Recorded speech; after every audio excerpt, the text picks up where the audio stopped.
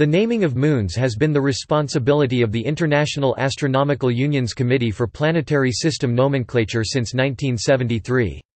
That committee is known today as the Working Group for Planetary System Nomenclature WGPSN. Prior to its formation, the names of satellites have had varying histories. The choice of names is often determined by a satellite's discoverer, however, historically some satellites were not given names for many years after their discovery, for instance, Titan was discovered by Huygens in 1655, but was not named until 1847, almost two centuries later. Before the IAU assumed responsibility for astronomical nomenclature, only 25 satellites had been given names that were in wide use and are still used. Since then, names have been given to 129 additional satellites, 47 satellites of Jupiter, 43 of Saturn, 22 of Uranus, 11 of Neptune, 5 of Pluto, 1 of Eris, and 2 of Haumea. The number will continue to rise as current satellite discoveries are documented and new satellites are discovered. At the IAU General Assembly in July 2004, the WGPSN suggested it may become advisable to not name small satellites, as CCD technology makes it possible to discover satellites as small as 1 km in diameter. Until 2013, names were applied to all moons discovered, regardless of size. Since then, with the exceptions of Jupiter LIII Dia and Jupiter LXII Valetudo, no planetary satellite that was numbered received a name. Topic: Naming of moons by solar system object. Topic: Earth. Every human language has its own word for the Earth's moon, and these words are the ones normally used in astronomical contexts. However, a number of fanciful or mythological names for the Moon have been used in the context of astronomy an even larger number of lunar epithets have been used in non-astronomical contexts. In the 17th century, the Moon was sometimes referred to as Proserpina. More recently, especially in science-fictional contexts, the Moon has been called by the Latin name Luna, presumably on the analogy of the Latin names of the planets, or by association with the adjectival form lunar. In technical terminology, the word stems seleno from Greek selene moon", and Cynthi from Cynthia, an epithet of the goddess Artemis are sometimes used to refer to the moon, as in selenography, selenology, and paracynthion. Mars The moons of Mars Phobos and Deimos were named by Asaph Hall in 1878, soon after he discovered them. They are named after the sons of the god Ares the Greek equivalent of the Roman god Mars. Jupiter The Galilean moons of Jupiter Io, Europa, Ganymede and Callisto were named by Simon Marius soon after their discovery in 1610. However, by the late 19th century these names had fallen out of favor, and for a long time it was most common to refer to them in the astronomical literature simply as Jupiter I, Jupiter II, etc., or as the first satellite of Jupiter. Jupiter's second satellite, etc. By the first decade of the 20th century, the names Io, Europa, Ganymede, and Callisto had once again recovered popularity, but the later discovered moons, numbered, usually in Roman numerals V 5 through 12, 12 remained unnamed. By a popular though unofficial convention, Jupiter V, discovered in 1892, was given the name Amalthea, first used by the French astronomer Camille Flammarion. The other irregular satellites discovered 1904 to 1951 were, in the overwhelming majority of astronomical literature, simply left nameless. No names were proposed until Brian G. Marsden suggested a nomenclature for these satellites in 1955. Although the 1955 names met with immediate acceptance in some quarters e.g. In science fiction and popular science articles, they were still rarely if ever met in astronomical literature until the 1970s. Two other proposals for naming the satellites were made between 1955 and 1975, both by Soviet astronomers, E. I. Nesterovich in 1962 and U. A. Karpenko in 1973. These met no particularly enthusiastic reception. In 1975, following Charles Kowal's discovery of the satellite Jupiter 13 in 1974 the IAU Task Group for Outer Solar System Nomenclature granted names to satellites V13, and provided for a formal naming process for future satellites to be discovered. Under the new process, Jupiter V continued as Amalthea, Jupiter 13 was named Leda in accordance with a suggestion of Kowal's, and all previous proposals for the seven satellites V12 were abandoned in favor of new names, in accordance with a scheme suggested by the German philologist Jürgen Blunck where prograde moons received names ending in a and retrograde moons received names ending in e. The new names met considerable protest from some quarters. Kowal, despite suggesting a name for Jupiter 13, was of the opinion that Jupiter's irregular satellites should not be named at all. Carl Sagan noted that the names chosen were extraordinarily obscure a fact that Tobias Owen, chair of the task group, admitted was intentional in a response to Sagan and suggested his own names in 1976, these preserved some of the names from the 1955 proposal. Karpenko had noted the same in his 1981 book, The Names of the Starry Sky. Along with stating that the names chosen for retrograde moons, and therefore the e ending, were not always the ones for which it was the more common one. The proposals are summarized in the table below data from Icarus unless specified otherwise. Current practice is that newly discovered moons of Jupiter must be named after lovers or descendants of the mythological Jupiter Zeus. Blunck's scheme for the outer moons was retained, with the addition that names ending in o could also be used for prograde moons. At the IAU General Assembly in July 2004, the WGPSN allowed Jovian satellites to be named for Zeus descendants in addition to his lovers and favorites which were the previous source of names, due to the large number of new Jovian satellites that had then recently been discovered. All of Jupiter's satellites from 34 on were named for daughters of Zeus, until Jupiter Liii Dia, named after another one of his conquests. All of Jupiter's satellites from Li on, with the exceptions of Jupiter Liii Dia and Jupiter Lxii Valetudo, have received permanent Roman numeral designations but not names. Saturn In 1847 the seven then known moons of Saturn were named by John Herschel. Herschel named Saturn's two innermost moons Mimas and Enceladus after the mythological Greek giants, and the outer five after the Titans Titan, Iapetus and Titanesses Tethys, Dione, Rhea of the same mythology. Until then, Titan was known as the Huyghenian or Hugenian satellite of Saturn, and the other moons had Roman numeral designations in order of their distance from Saturn.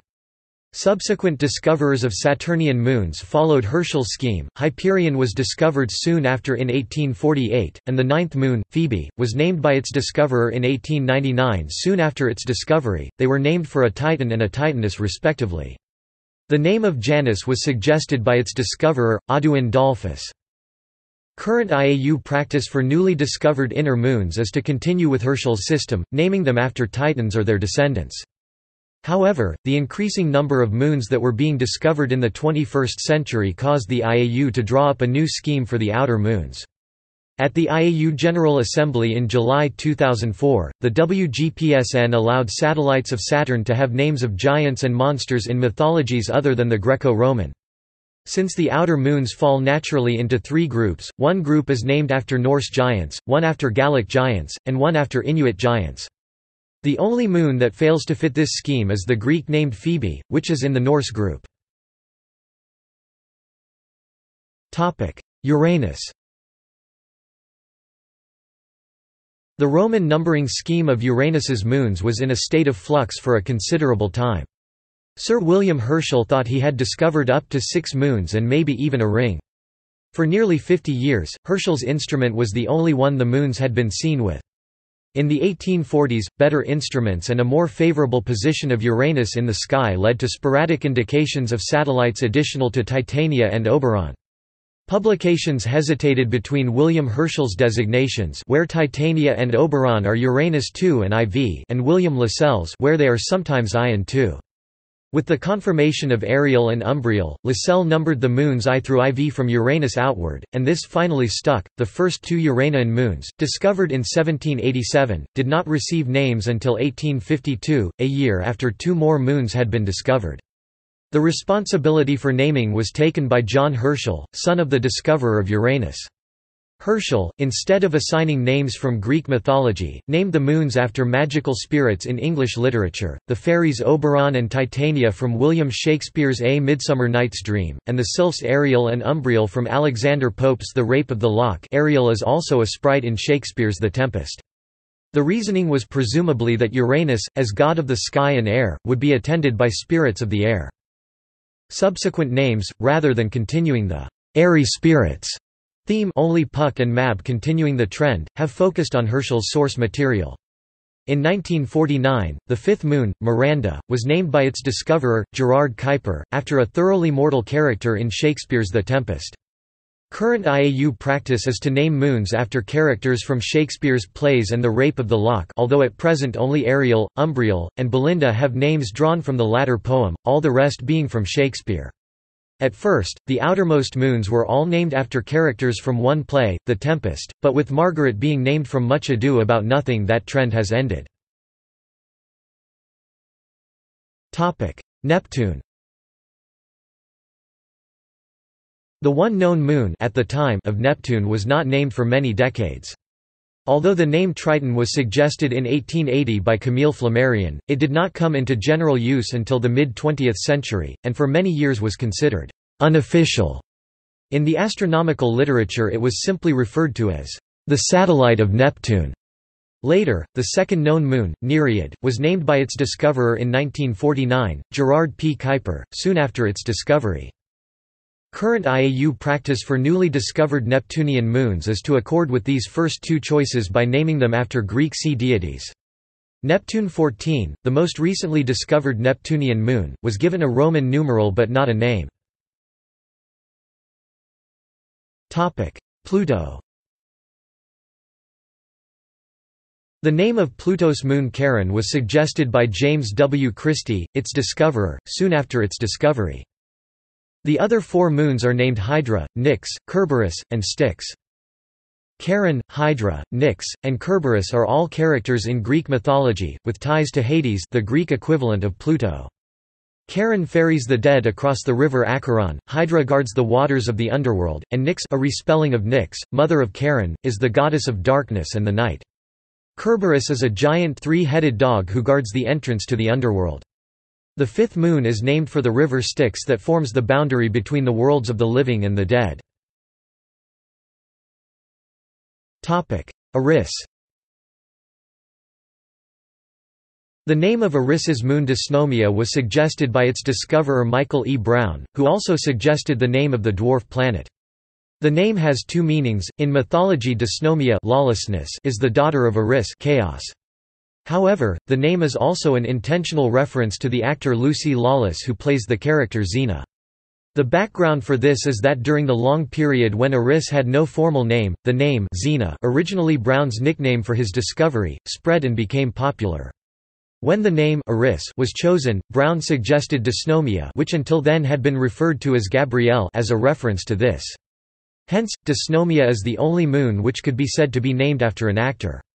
The names Eris and Dysnomia were accepted by the IAU on 14 September 2006. Haumea The name of Haumea and its moons were suggested by David L. Rabinowitz of Caltech and refer to the mother goddess and her daughters in Hawaiian mythology. Asteroids and Kuiper belt objects Unlike the planets and dwarf planets, relatively few moons orbiting asteroids have been named. Among them are the following. Roman numeral designations The Roman numbering system for satellites arose with the very first discovery of natural satellites other than Earth's moon. Galileo referred to the Galilean moons as I through IV counting from Jupiter outward, refusing to adopt the names proposed by his rival Simon Marius. Similar numbering schemes naturally arose with the discovery of multiple moons around Saturn, Uranus, and Mars.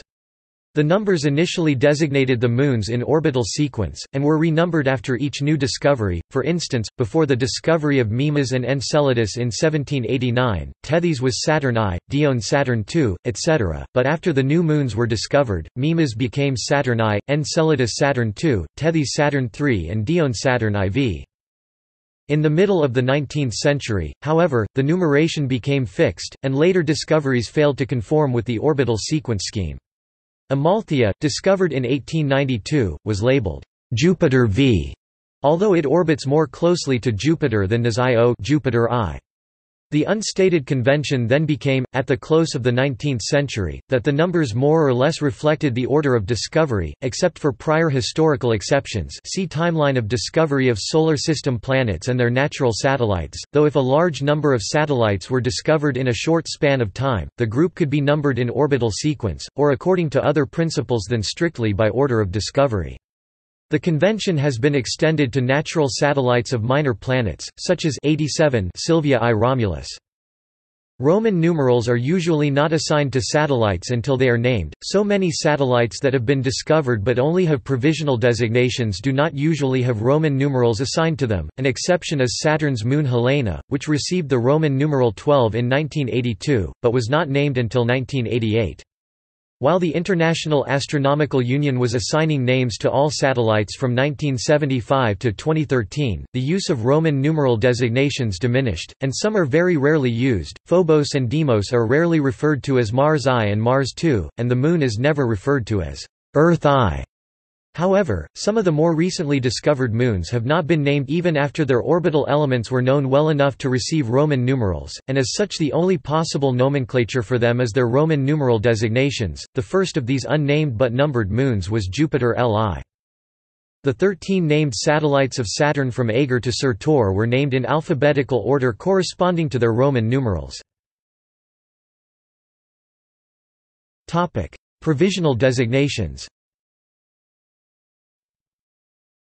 When satellites are first discovered, they are given provisional designations such as S 2010 J2, the second new satellite of Jupiter discovered in 2010, or S 2003 S1, the first new satellite of Saturn discovered in 2003.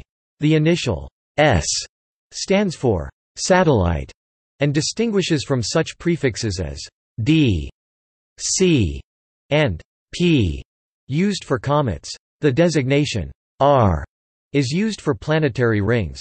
These designations are sometimes written like S 2003 S1, dropping the second space. The letter following the category and year identifies the planet Jupiter, Saturn, Uranus, Neptune, although no occurrence of the other planets is expected. Mars and Mercury are disambiguated through the use of Hermes for the latter.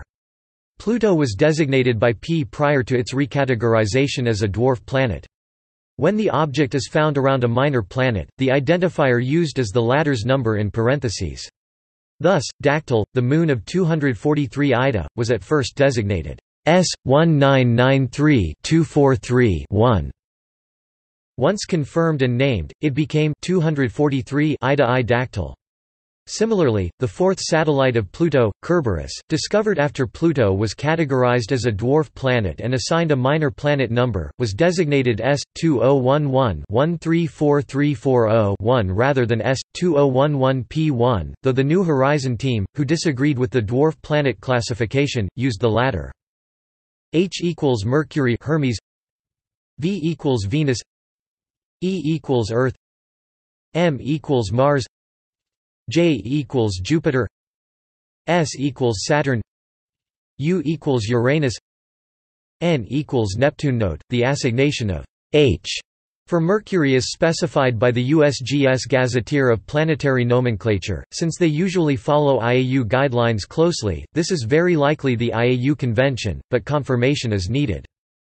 After a few months or years, when a newly discovered satellite's existence has been confirmed and its orbit computed, a permanent name is chosen, which replaces the S provisional designation. However, in the past, some satellites remained unnamed for surprisingly long periods after their discovery. Timeline Pre-IAU names The following names were adopted by informal processes preceding the assumption by the IAU of control over the assignment of satellite nomenclature in 1973. IAU names The following names were selected through a formal process controlled by the IAU. Only in a few cases is the person who chose the name identified. 20th century. 21st century. For completeness, moons that were left unnamed upon their official numbering have also been included. Other references.